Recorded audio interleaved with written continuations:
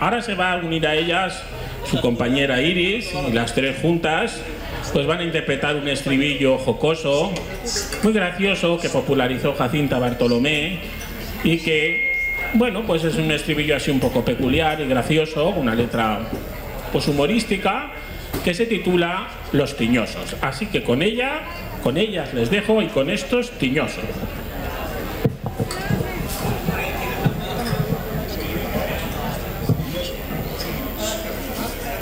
Sim. Sim.